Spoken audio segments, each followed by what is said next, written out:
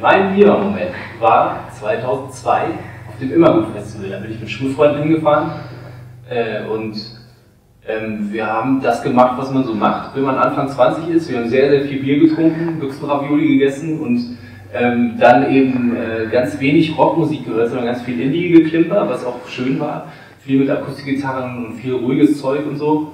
Und dann sind wir irgendwann ins Zelt, weil, äh, weil ich von der Band gehört hatte über Viva 2 damals noch, wo dann irgendwie ähm, das erste Video lief und so.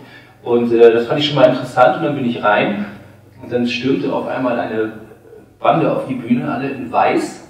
Äh, und haben tierisch einen losgemacht. Und ähm, das war nicht einfach nur Punk, sondern irgendwas anderes spielte da noch mit, also eben Elektronik und so. Und das, äh, da war ich eigentlich noch gar nicht so aufgeschlossen, aber ich war für Elektronik. Er war an diesem Tag, an diesem späten Nachmittag, war ich auf jeden Fall das erste Mal richtig wach und habe das Konzert von vorne bis hinten geguckt und es total genossen. Und äh, fand eben von Anfang an außergewöhnlich, dass, äh, dass die Stimme von Mieze nicht einen nicht einlullen will oder einen irgendwie sagen will, dass alles total schön ist oder wie auch immer, oder irgendwie, sondern die ist fordernd.